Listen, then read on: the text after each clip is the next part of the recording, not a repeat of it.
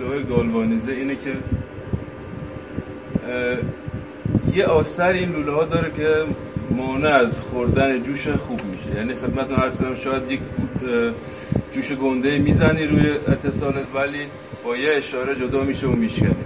شما قبلش یا باید با صفحه حسابتون چند تا خراش بندازید اینجا یا اینکه با گرمای الکترود یه حالت کبریتی بزنید روی این اتصالات که اون آثر از بین بره جوش خوب مثلا خوبی بخوره.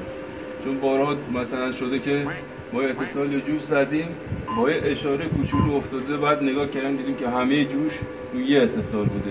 اون یکی فقط همینجوری نمادین روش بود.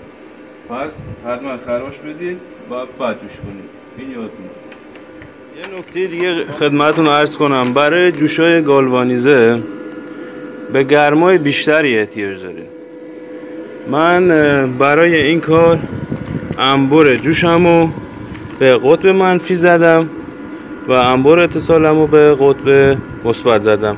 برای اینکه گرمای بیشتری رو بتونم از الکترود به قطعه منتقل کنم و جوش بهتری بزنم.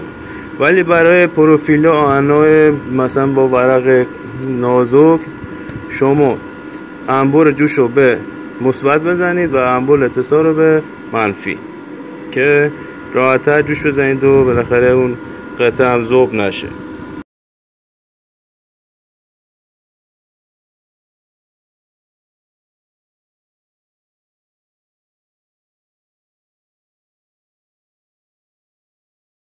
رفقا امیدوارم که دوست داشته باشید و لایک و کامنت یادتون نره و از این بالا ما رو دنبال کنید.